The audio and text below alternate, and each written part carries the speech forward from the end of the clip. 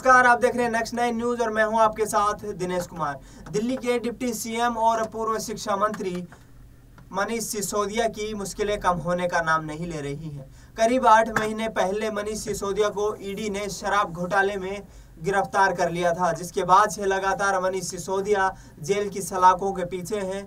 ED ने मनीष सिसोदिया को दिल्ली शराब नीति में एक बड़ी झोल करते हुए और मुकदमा लगाते हुए गिरफ़्तार किया था, जिसके बाद से उनकी जो है सदस्यता चली गई थी और वह अपने डिप्टी सीएम और शिक्षा मंत्री के पद से भी इस्तीफा दे चुके हैं। उनके स्थान पर आतिशी सिंह को दिल्ली की डिप्टी सीएम और शिक्षा मंत्रालय का जिम्मा सौंपा गया, जिसके बाद से मनीष सिसोदिया की जमानत पर लगातार आठ महीने से उनके वकील जमानत के लिए याचिकाएँ लगाते जा रहे हैं, लेकिन कोर्ट की तरफ़ से किसी भी प्रकार की राहत मनीष सिसोदिया को नहीं मिल पा रही है। मनीष सिसोदिया से संबंधित बता दें कि अरविंद केजरीवाल के बड़े ही करीबी माने जाते हैं मनीष सिसोदिया। एक तरफ़ जहाँ दिल्ली की शराब नीति के जो नए रूल्स बनाए गए थे, उनमें मनीष सिसोदिया का बड़ा हाथ था, क्योंकि वह दिल्ली के आबकारी नीति मंत्रालय के मंत्री थे।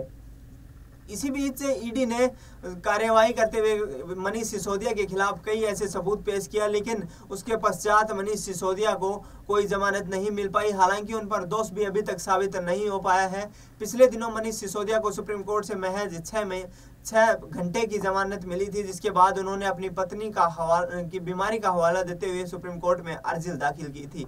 अर्जी पर सुनवाई करते हुए मनीष सिसोदिया को सुप्रीम कोर्ट ने महज छह घंटे की जमानत दी थी, जिसके बाद से वे अपने परिवार से मिले और परिवार का हाल जाना। छह घंटे के दौरान किसी भी कार्यक्रम में चुनाव, चुनावी कार्यक्रम या फिर पार्टी की अन्य गतिविधियों में राजनीतिक व्यक्तित्व कोई भी बयान देने से सुप्रीम कोर्ट ने रोक लगा दी थी।